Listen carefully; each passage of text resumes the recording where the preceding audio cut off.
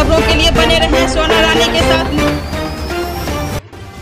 Patna city के भगत सिंह चौक पे घंटों ट्रैफ़िक जाम में फंसे लोग परेशानी का सामना करते कड़ी धूप में ट्रैफ़िक पुलिस नदारत दिखी। बस्ती हरैया बाज़ार में जमकर उड़ा रहे लॉकडाउन की धज्जियाँ। मार्केट में दुकानदार ग्राहकों को भारी संख्या में अंदर कर बाहर से शटर बंद कर बेच रहे हैं सामग्री व कपड़ा।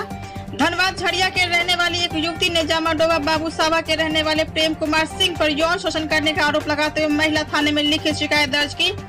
पटन देवी कोरोना महामारी से जगत की रक्षा, मानव और मानवता की रक्षा के लिए शक्तिपीठ माता छोटी पटन देवी में सवा लाख बीज मंत्रों से हवन किया गया। बोकारो गोमियो प्रखंड के लुगु पहाड़ी की तलहटी स्थित बड़का गढ़ा के पास अचानक ज़मीन के नीचे से आग की लपटें निकलने लगी, जिसके बाद ग्रामीणों में खौफ है।